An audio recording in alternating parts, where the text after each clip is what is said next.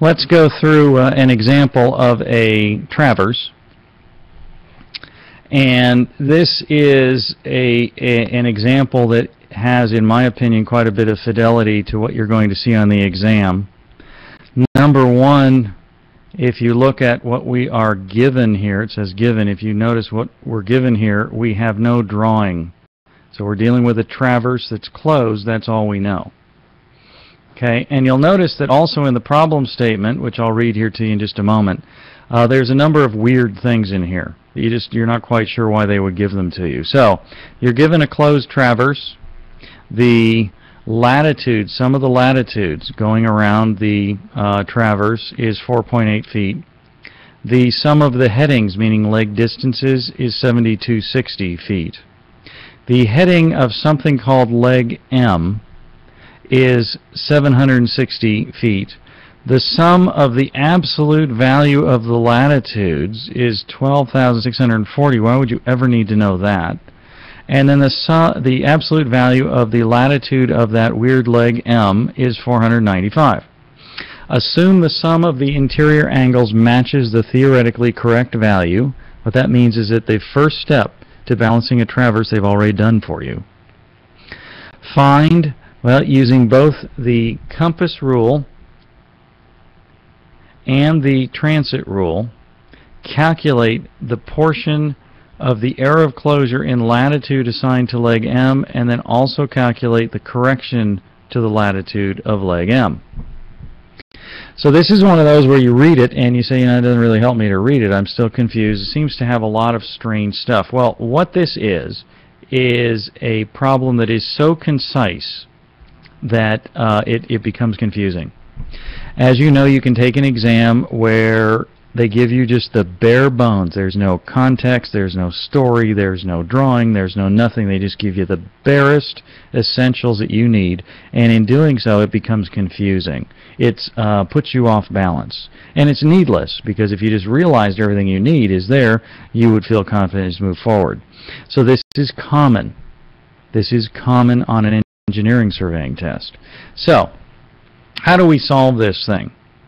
Well, the first thing we do is we understand that they have told us that the sum of the interior angles matches the theoretically correct value, that they've already taken care of the first step, which is take care of the angular uh, uh, error of closure. Now we can get on to correcting distances, and one of the distances we correct always is the latitude. The other one is departure, of course.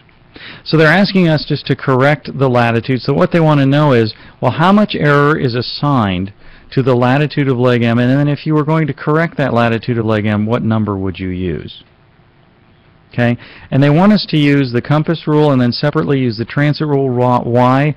Uh, I'm using this as an instructional technique. I want to show you both rules, but in any given problem, you're only going to use one or the other rule. Okay, one or the other rule. Now I'm going to discuss a little bit not only what's the difference between the two. They're both very easy, so nobody panic.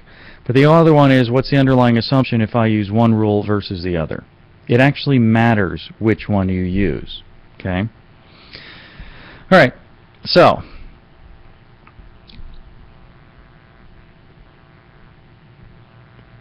by the compass rule, first off, if you're using the compass rule, the underlying assumption that you are making is that both the distances measured and the angles measured are equally reliable. So by using the compass rule, you're saying that the two sets of field measurements are equally reliable. It is not that way in the transit rule. In the transit rule, if you use that one, you are assuming that the angles measured are reliable, but the distances less so. So this means then that if you don't know anything about the reliability of the various measurements, you have to go with the first one. If you do have some concept of the procedures and equipment and everything used in the field measurements and something about that tells you that one set is more reliable than the other, then maybe you want to start thinking about using the transit rule.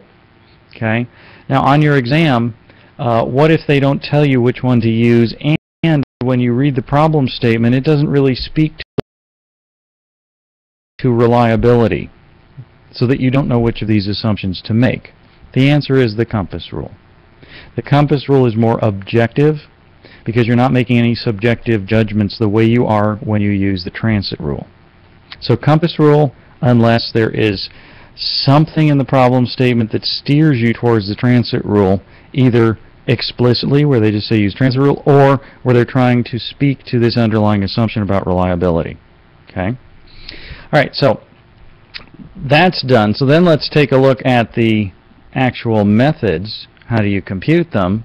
Well, for the compass rule, you have to distribute the error of closure in proportion to the headings. Now remember, a heading is the leg distance. All right. So the portion of the error of closure in latitude that is assigned to leg M is going to be the heading of leg M divided by all of the headings all the way around. That ratio I put against my 4.8 feet in latitude which was given to me and we know that anything that is not zero in latitude, sum of latitudes, means that that's our error of closure in latitude. So for example, in this problem, the sum of the latitudes in the problem statement was 4.8 feet. For there to be zero error of closure in latitude, the sum of the latitudes has to be zero. So here our number comes up with 0.5 feet in latitude. That means that the portion of the error of closure in latitude, that is the 4.8 feet, what portion of that's assigned to leg M? It's half a foot. The correction is going to be that same value, but in the opposite direction, it's a negative. So the correction to the latitude of leg M is still half a foot, but it's the opposite algebraic sign. Okay. The transit rule.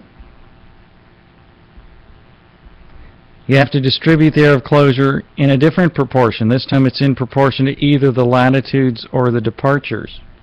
So in our, prob so in our problem statement, they told us that the absolute value of the sum of the latitudes was 12,640.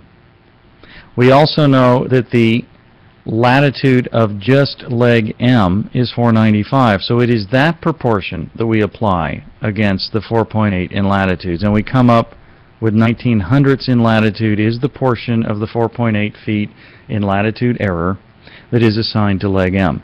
The correction, again, is going to be the same value but opposite sign.